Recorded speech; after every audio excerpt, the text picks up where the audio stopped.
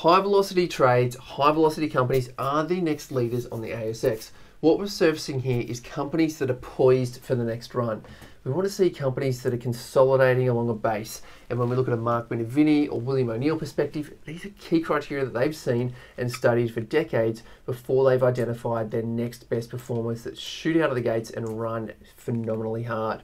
Looking at NVX on the chart at the moment, and this is a key example of something that's consolidated, coming to a tighter base before it explodes and breaks out and runs to become a market leader.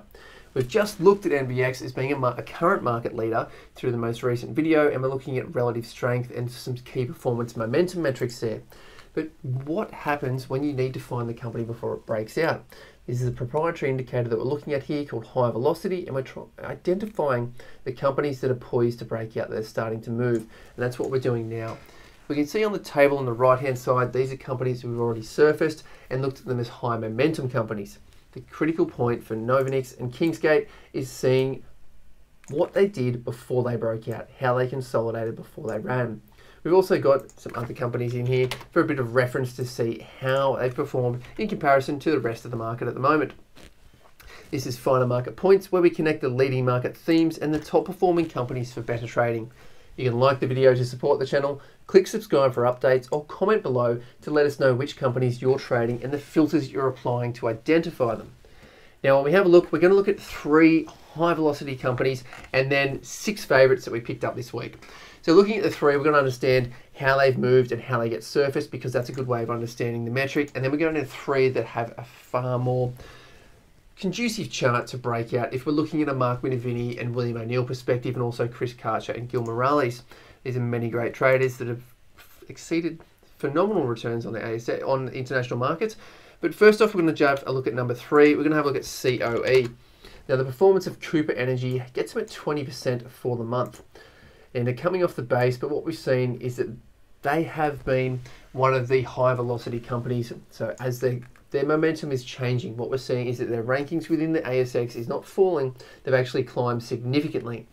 We're finding that the best performers come from the mid ranks. If they're a Novonix or Kingsgate, they've already had that run, so they're already showing as a high momentum, and it's a bit late. The horse is already bolted. We're trying to identify the companies before they poised for the break. Next one is number two. We've got ORI, same in that energy space. We've got Orica Limited working at 5.82% for the month. Now, this has just brought them back to the 200 day moving average, but they got there quickly. That saw their ranks run through the roof and get some as a high velocity, rapid climber. That's what they've done here and get them back to sort of the June, July levels before they were really getting pushed down hard in the early September part. This gets their rankings up significantly, but not a chart that really excites us at the moment. Then we want to have a look at another one, which is OMH. They come out as top ranking, the highest velocity company on the ASX. But what we're seeing with OMH from the performance perspective is 16% over the month. Then we have a look on the left hand side to see the chart. Just like Orica, they've had that quick rapid rise from the 200 day moving average. They found support around that region and then shot back over it, getting up near a dollar, touching it briefly, kissing, come back to where they've closed in the recent session. That gets them as number one for the gaining the high velocity. But then as we're working through later in the race, looking at 15, 20th, we're going to surface some top performers that are also conducive charts. So starting off here, we've got A2 Milk, which is a favourite for them who are looking for that bottom fishing kind of thing. They've had 8% gain over the month, but if we have a look at their performance, we're going to have to zoom out more than the year. We're going to bring back to two years to get an idea of where they've come from. Just touching on $20 so many times, getting back to around the $6 region. Now we've got a higher low here, but then they did fa fail to get a higher high and then push back down where they're retesting, they've crashed through that, but they haven't quite come down to the low here and then started to rally. But what they've had is in this consolidation period over the last few months, that's got A2 milk climbing from a high velocity perspective. We're going to dial in here and have a look at some more of this chart. And we can see that it's trawling along the bottom here, rounding out a bit of a base, and then has a nice solid spurt here. The volume hasn't really ticked in as it did on the falls here, but we're seeing that the volume is drying up on the selling side and then it didn't need to get through, didn't have much volume to really push up to where it has been. So that's showing that selling's really exhausted. Looking at it from a Wyckoff perspective, this is an interesting chart that we're surfacing and having a look at for one as a high velocity trader. Next one is CBR, Carbon Revolution. This is the company that was leading and surfaced about 12 months ago as one of the best performers on the ASX, especially in automobile and also some sort of technology front.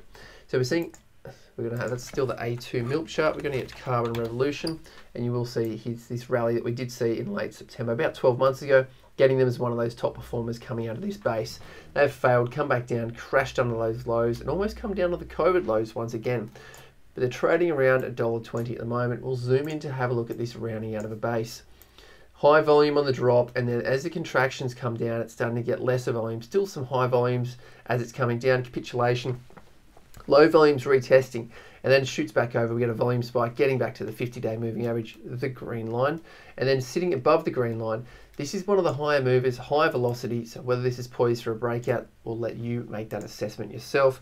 But that's CBR coming in as one of the more interesting charts. Moving up, we do see FDV. So for FDV, we're going to see Frontier Digital pretty flat for the month, but having a look at the chart, that's what we want to study.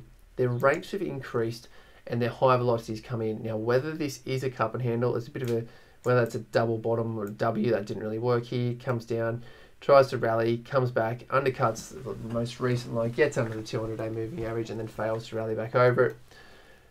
Consolidates and then finally kicks on. But whether this is consolidating here, this is the interesting component, as it also is showing a high velocity movement here. We're seeing a bit of consolidation and we're seeing a bit of volume in the spikes as well. So, interesting movement for FDV. You can do your own analysis on that one, but that has been surfaced as an interesting chart. ING is another one that comes up with an interesting chart. We're looking at 3.62% gains for the month. Ingham Group, that's not shooting the lights out, but what we're seeing is this consolidation. Is this poised for another run? That is a good question. Bring this in on the year side of things to really zoom in and see how that has performed. Tricking along, we can see that consolidation is happening here. And we're still getting some wide range days, what would be interesting is we see the volume dry up and then we're also seeing a bit of tighter closes like we saw along here. That would be interesting to see from Ingham's.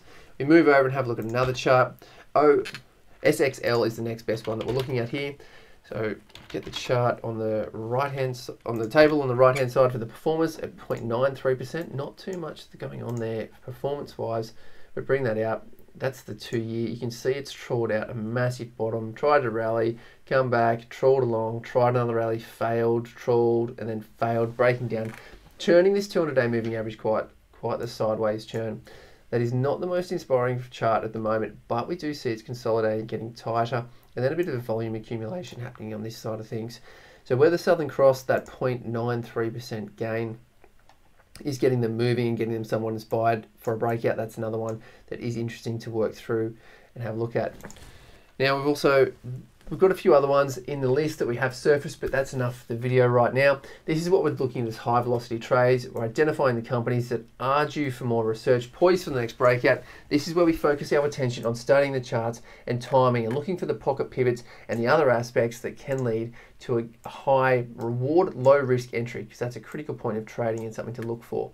So here we're seeing a high volume here, strong candle, good day, breaking through the 200 day moving average off the 50 day moving average, that can be something worth looking at from a Gil Morales, Chris Kacher pocket pivot perspective. That's enough for now. Thanks for joining. Thanks for watching. Like the video to support the channel. Click subscribe for updates and comment below to let us know what filters you use to surface the next market leaders.